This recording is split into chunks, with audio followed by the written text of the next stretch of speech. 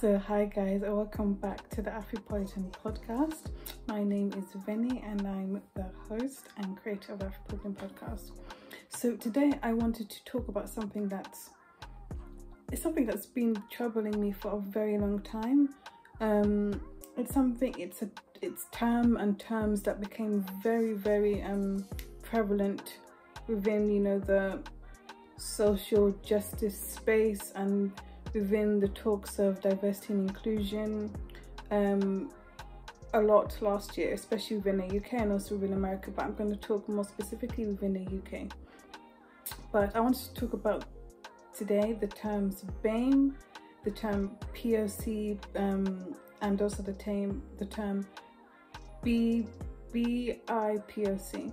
So first of all, BAME stands for Black, Asian, Minority, Ethnic then POC stands for people of color and then BIPOC stands for black indigenous people of color. Now first of all I absolutely detest these terms. Like I absolutely detest these terms. First of all they're not progressive at all if we're talking about social justice reform.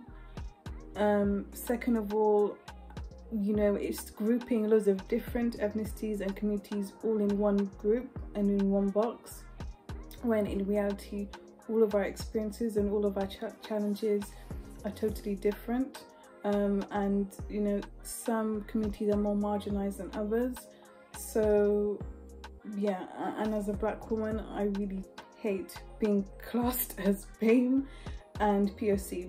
B-I POC is that that, that doesn't really um, affect us in the UK because we don't have an indigenous community as you do in America, but it's extremely, extremely non-progressive. And I think in order for change to happen, we need to start addressing issues at the root cause and just calling it, calling out the issues and saying it what it is. Because I also hear black people using the terms BAME and POC and it's like oh very politically incorrect and it sounds all very nice and whatnot. But the reality is where you know black people of African descent we're not POC we're, we're not BAME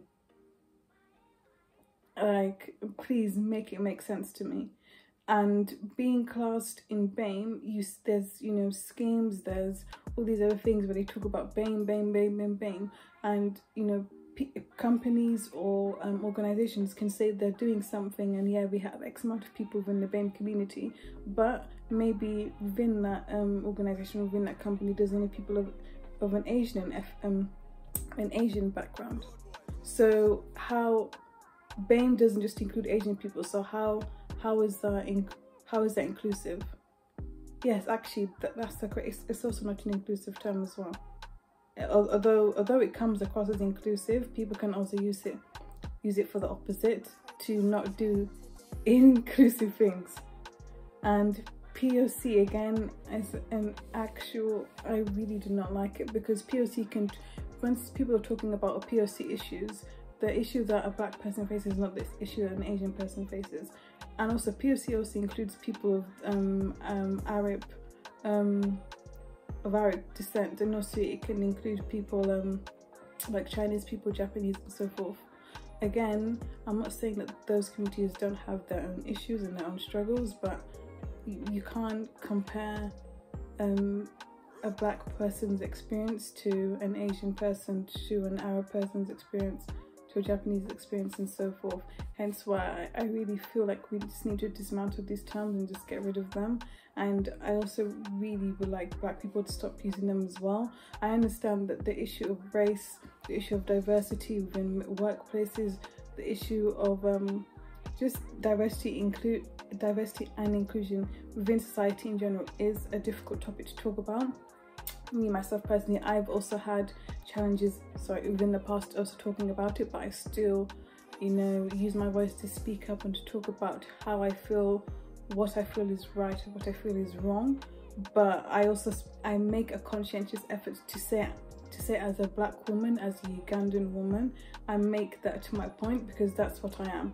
I'm not in some BAME category. I'm not a poc person and i'm not um bipoc so I, really, I just really hope this year in 2020 that people please stop using these terms because I see them in articles, I see them in, I, I see everywhere, I see everywhere.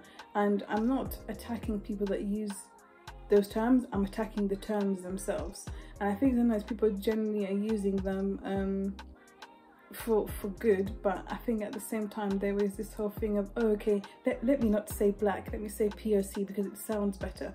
Or no just say black. Like i think there's this been there's negative attachment to the term black and there's so many negative connotations. But with me i don't see my blackness as a hindrance. I don't see my blackness as a negative. I see it as a positive although I don't like Beyonce, black is king. Do you know what I mean? The blacker the berry, the sweeter the juice. Do you get me? So, that was just something I just really, really wanted to just get off my chest in this 2020. Um, so yeah, so I am actually going to be doing more videos like this, but I'm going to be talking about more um, societal and cultural topics um, pertaining to black people and how things affect us and how certain things need to stop and how we as black people need to work to, to you know to, to better the community. So yep so guys please like share subscribe and leave a comment and i'll see you guys soon. Take care and stay blessed